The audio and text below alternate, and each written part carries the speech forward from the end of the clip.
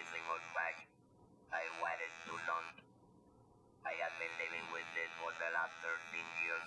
If you're thinking about quitting smoking, now's the time. Call 1 800 TRY to STOP for a free supply of nicotine patches to help you get started. Please don't wait. Oh dear, it is too late. Fight for your life. Quit now.